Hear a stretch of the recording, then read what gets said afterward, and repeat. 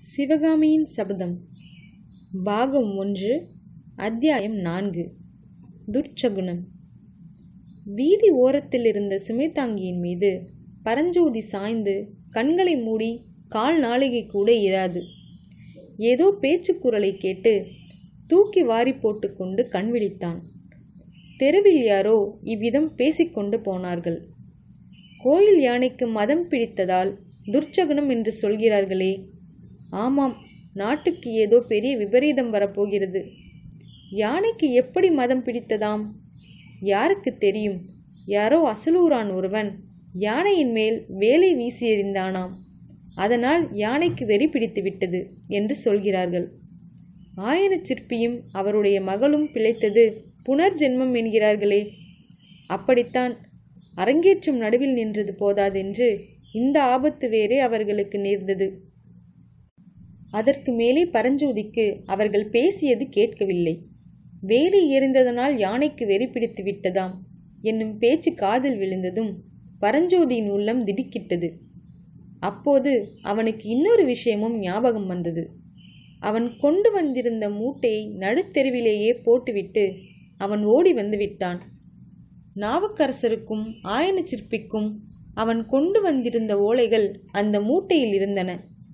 இன்னும் அவனுடைய துணிமணிகளும் அவன் கொண்டு வந்திருந்த சொற்ப பணமும் மூட்டைக்குள்ளே தான் இருந்தன. அதை அவசியம் கண்டுபிடித்தாக வேண்டும். போட்ட இடத்திலேயே மூட்டை கிடைக்குமா? திக்கு திசை புரியாத இந்த பெரிய நகரத்தில் அந்த இடத்தை மறுபடியும் எப்படி கண்டுபிடிப்பது? பரஞ்சோதி சுமை தாங்கியிலிருந்து இறங்கி தான் ஓடி வந்த வழி எதுவாயிருக்கும்? என்று ஒருவாறு ஊகித்து கொண்டு அந்த திசையை நோக்கி நடக்கத் தொடங்கினான். இதற்குள் வீதிகளில் ஜட நடமாட்டம் வெகுவாக குறைந்து போயிருந்தது. வீட்டு கதவுகள் எல்லாம் சாத்தியாகிவிட்டது. வீதி விளக்குகளை அணைத்து விட்டார்கள். நல்ல வேளையாக பூரணச்சந்திரன் பால் போன்ற வெண்ணிலாவை பொழிந்து கொண்டிருந்தான். நிலா வெளிச்சத்தில் நாற்புறமும் கூர்மையாக பார்த்து கொண்டு பரஞ்சோதி வெகு நேரம் நடந்தான். எவ்வளவு நடந்தும் யானை சந்தித்த இடத்தை அவனால் கண்டுபிடிக்க முடியவில்லை. மூட்டையையும் எங்கும் காணவில்லை. நேரமாக ஆக வீதிகளில் நிசப்தம் குடிக்கொண்டது உச்சி வானத்தில் சந்திரனை பார்த்து அர்த்தராத்திரியாகிவிட்டது என்பதை பரஞ்சோதி தெரிந்து கொண்டான். கால்கள் இனி நடக்க முடியாதபடி சோர்ந்து போயின. உடம்பை எங்கேயாவது கீழே போட்டால் போதும் என்று அவனுக்கு ஆகிவிட்டது. இனிமேல் மூட்டையை தேடுவதில் பயனில்லை. நாவுக்கரசர் மடத்துக்கு எப்படியாவது போய் சேர்ந்தால் போதும். ஆனால் எப்படி போவது? வழி கேட்பதற்கு கூட வீதிகளில் யாரையும் காணோம். லட்சக்கணக்கான ஜனங்கள் வாழ்ந்த அந்த பெரிய நகரத்தில் தான் மட்டும் தன்னந்தனியாக அலைவதை நினைத்தபோது பரஞ்சோதிக்கு எப்படியோ இருந்தது. ராத்திரி எல்லாம் இப்படியே அலைந்து கொண்டிருக்க வேண்டியதுதானோ? ஆயிரக்கணக்கான மாளிகைகளும் மண்டபங்களும் வீடுகளும் நிறைந்துள்ள இந்த நகரில் தனக்கு இரவில் தங்குவதற்கு இடம் கிடையாதா? நல்ல வேளையாக இதோ யாரோ வருகிறார்கள் போலிருக்கிறது. பேச்சுக்குரல் கேட்கிறது. அவர்களை விசாரித்து பார்க்கலாம். ஒரு வீதியின் முடுக்கில் இரண்டு பேர் பேசிக்கொண்டு வந்தார்கள். அவர்களை பார்த்தால் நகர்காவலர்கள் என்று தோன்றியது. பரஞ்சோதியை பார்த்ததும் அவர்களே நின்றார்கள். யாரப்பா நீ? நடுராத்திரியில் எங்கே கிளம்பினாய்? என்று அவர்களில் ஒருவன் கேட்டான்.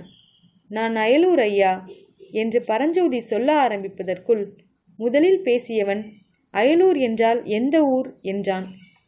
சோழ தேசம். ஓஹோ உறையூரா? இல்லை ஐயா கீழை சோழ நாட்டில் செங்காட்டங்குடி கிராமம். இன்று மாலைதான் காஞ்சிக்கு வந்து சேர்ந்தேன். அப்படியா இங்கு எதற்கு வந்தாய்? நாவுக்கரசர் மடத்தில் தமிழ் பயில்வதற்காக வந்தேன். அப்படியானால் நள்ளிரவில் தெருவீதியில் ஏன் அலைகிறாய்? மடம் இருக்குமிடம் தெரியவில்லை.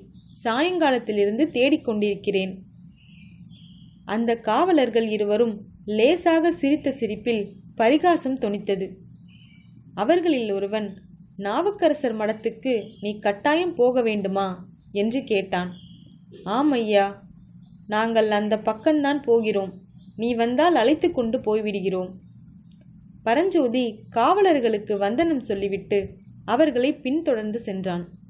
சற்று நேரத்துக்கெல்லாம் அவர்கள் உயரமான மதில் சுவர்களையுடைய ஒரு கட்டிடத்தின் வாசலில் வந்து நின்றார்கள். இதுதான் மடமா என்று கேட்டான் பரஞ்சோதி. ஆமாம் பார்த்தால் இது மடமாக தோன்றவில்லையா? உண்மையில் பரஞ்சோதிக்கு அது மடமாக தோன்றவில்லை. அருகில் கோயில் எதையும் காணவில்லை. கட்டிடத்தின் உயரமான சுவர்களும் வாசற்கதவில் பூட்டியிருந்த பெரிய பூட்டும் அவனுக்கு இன்னதென்று தெரியாத சந்தேகத்தை உண்டாக்கின. அவனை அழைத்து போனவர்களில் ஒருவன் வாசற்கதவண்டை சென்று அங்கே இருந்த காவலாளியிடம் ஏதோ சொன்னான். உடனே பூட்டு திறக்கப்பட்டது. கதவும் திறந்தது. வா தம்பி நெஞ்சு திக் திக் என்று அடித்து கொள்ள பரஞ்சோதி வாசற்படியை தாண்டி உள்ளே சென்றான். இருபுறமும் உயரமான சுவர் எழுப்பிய குறுகிய சந்தின் வழியாக அவனை அழைத்து போனார்கள். ஓரிடத்தில் நின்றார்கள். அங்கிருந்து அறையின் கதவு திறக்கப்பட்டது. இங்கே படுத்திரு மடத்தில் எல்லோரும் தூங்குகிறார்கள் பொழுது விடிந்து பார்த்து கொள்ளலாம் என்றான் ஒருவன். பரஞ்சோதி அந்த இருட்டறைக்குள் எட்டி பார்த்தான். கொஞ்சம் வைக்கோலும் ஒரு கோரைப்பாயும் கிடந்தன. ஒரு மூலையில் சட்டியில் தண்ணீர் வைத்திருந்தது. திரும்பி தன்னுடன் வந்த காவலர்களை பார்த்து இது மடந்தானா? என்று கேட்டான். ஆமாம் தம்பி உனக்கென்ன சந்தேகம்? என்றான் காவலர்களில் ஒருவன். இங்கிருக்க விருப்பம் இல்லாவிட்டால் வெளியே போய்விடு என்றான் இன்னொருவன். பரஞ்சோதிக்கு இருந்த களைப்பில் எப்படியாவது ராத்திரி படுத்து தூங்க இடம் கிடைத்தால் போதும் என்று இருந்தது.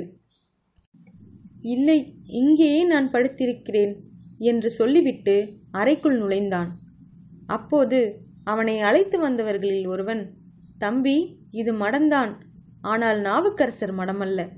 மன்னர் மன்னரான மகேந்திர சக்கரவர்த்தியின் மடம் என்று சொல்லிக்கொண்டே கதவை சாத்தினான்.